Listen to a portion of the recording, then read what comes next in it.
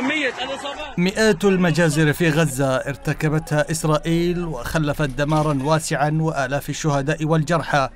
كل ذلك لم يقنع دولة الإمارات باتخاذ موقف عروبي كما فعلت دول وأنظمة عديدة.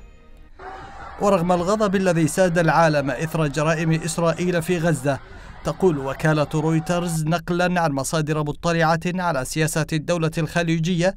إن الإمارات تعتزم الحفاظ على علاقاتها الاقتصادية والأمنية مع إسرائيل وتواصل تبادل السفراء والتعامل التجاري والأنشطة السياحية.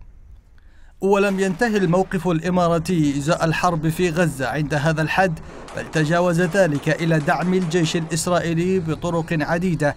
بالإضافة إلى إدانة المقاومة الفلسطينية بعد معركة طوفان الأقصى في السابع من أكتوبر الماضي في موقف لم يصدر عن أي دولة عربية أو إسلامية. وبالنظر إلى العلاقات الوثيقة بين الإمارات وإسرائيل إلا أن أبو ظبي اكتفت ببيانات ضعيفة وغاب رئيسها محمد بن زايد عن حضور القمة العربية الإسلامية في الرياض.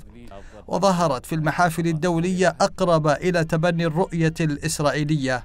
ولبحث تفسير ذلك تؤكد رويترز أن الإمارات قلقة على مصير اتفاق التطبيع أو ما سمته بالاتفاق الإبراهيمي الذي حاولت من خلاله الظهور كقوة حاكمة في الشرق الأوسط.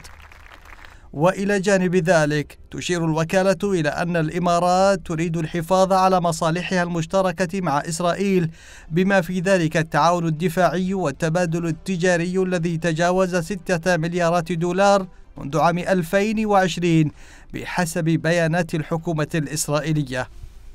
تنتهي الحالة بالإمارات شريكة لدولة الاحتلال الإسرائيلي تعمل لحسابها على حساب مصالح محيطها العربي والإسلامي ويصبح خطر وجودها في المنطقة لا يقل عن خطر إسرائيل ذاتها.